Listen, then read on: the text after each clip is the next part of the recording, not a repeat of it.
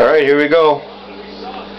Tried to fix the garbage disposal because a shot glass went through it at my Christmas party. Here's a big test. Flipping the switch now. Alright.